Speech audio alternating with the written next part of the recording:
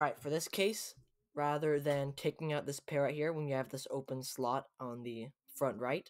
rather than taking it out and then inserting into its slot, what you can do here is as long as this front right uh, slot here is open, what you can do here is do F wide R U prime wide R prime U prime F prime.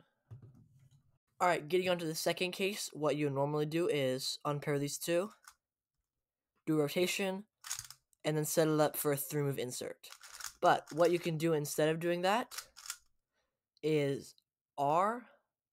U, R prime, U2,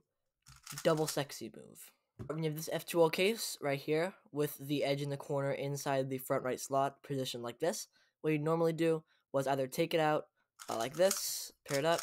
or do something along those lines. But what you can do instead, actually, is hold it just like this and then do wide R, U prime, wide R prime, U2,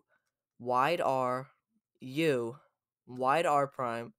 R, U, R prime.